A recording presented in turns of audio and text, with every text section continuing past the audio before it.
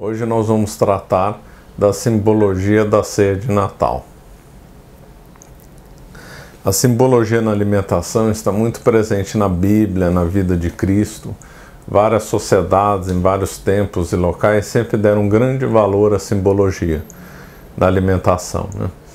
E todos os aspectos que se refere a ela, a companhia e o ritual também. Infelizmente, no mundo de hoje, um mundo materialista, um mundo que está se paganizando, está se dando pouco valor à simbologia na alimentação. E, uma, e um dos motivos do meu trabalho no, de divulgação em relação à gastronomia e ao vinho é justamente ajudar a resgatar essa simbologia.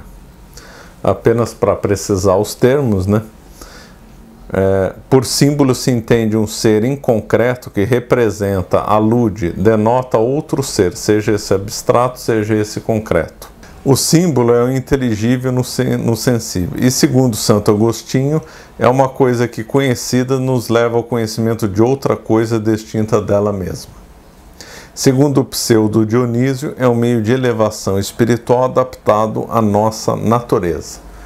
Essa expressão de pseudo Dionísio é fundamental para o nosso trabalho, porque se nós comemos e não interpretamos o que nós comemos, se nós não avaliamos como que é o ritual, como que é a companhia, nós estaremos no nível meramente material. E ao colocar símbolos nas coisas, ou melhor, extrair símbolos das coisas, aí sim nós nos projetamos além do mundo material e nos elevamos espiritualmente.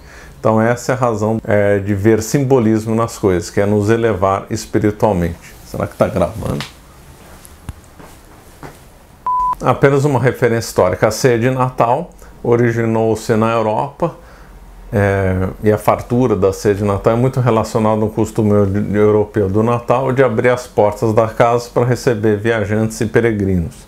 No Brasil, esse hábito, o, Brasil, o brasileiro também repetiu esse hábito europeu, então era muito comum antigamente a, a porta das casas ficarem abertas para receber os visitantes. O Brasil sempre foi muito famoso por receber bem os forasteiros. Né? Outro dado curioso é que Cristo nasceu em Belém, claro.